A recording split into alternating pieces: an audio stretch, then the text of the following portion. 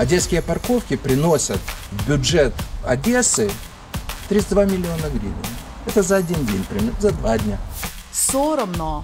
Якби одеські парковки приносили місту 32 мільйони гривень хоча б за два дні, то за рік вони забезпечили б половину бюджету міста. Але це не так. Парковки приносять бюджету Одеси 32 мільйони гривень лише за рік. Кандидат у мери Одеси не розбирається у міському бюджеті чи просто хоче, щоб місто жило лише за кошти автомобілістів.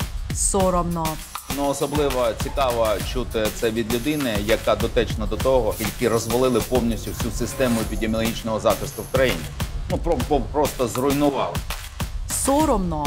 Ліквідація санепідемслужби, на думку міністра, це розвал системи епідемзахисту. І робила це команда Супрун.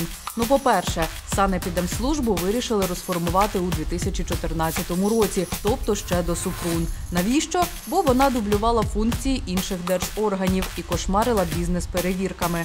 По-друге, навіть коли СЕС остаточно ліквідували, її функції передали МОЗ, Держпраці та Держпродспоживслужбі. А якщо Степанов не справляється з епідемією, то це ще не привід звинувачувати в усьому попередників.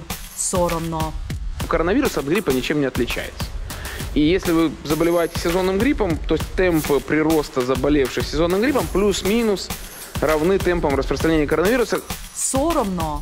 Лікарі, вчені і Всесвітня організація охорони здоров'я вже кілька разів доводили, що коронавірус і грип це різні і за перебігом, і за розповсюдженням хвороби. Але Дубінський чомусь і досі у це не вірить.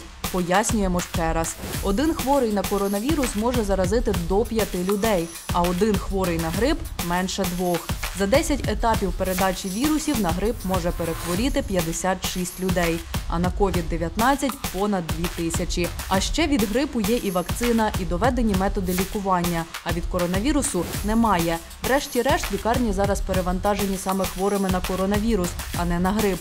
З хворобою борються вже майже рік. За цей час вже можна було вивчити відмінності. Соромно. Кто были на тот момент зеленые человечки? Мы не знаем. Кто это были? Россияне? А Мы не знаем. Бразильцы? Монголы? Может быть, да? Кто? Соромно. Численні розслідування громадських організацій та розвідувальних центрів ще у 2014 році довели, що зелені чоловічки були представниками російських збройних сил. Пізніше навіть Володимир Путін визнав, що під час так званого референдуму у Криму були присутні російські військові. Пальчевський так відверто бреше, тому що досі вірить у дружнє воз'єднання з Росією. Соромно Каннабис, который сегодня можно получить по рецепту врача, вы хотите, чтобы можно было получить без рецепта врача. Соромно.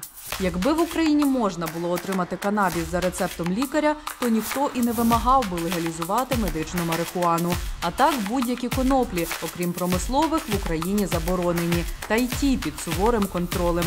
Їх вважають небезпечним наркотичним засобом.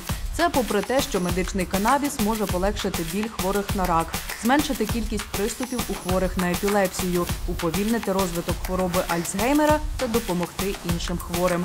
Пане Шуфричу, крім питань президента, більше немає на чому зловити хайп. Соромно.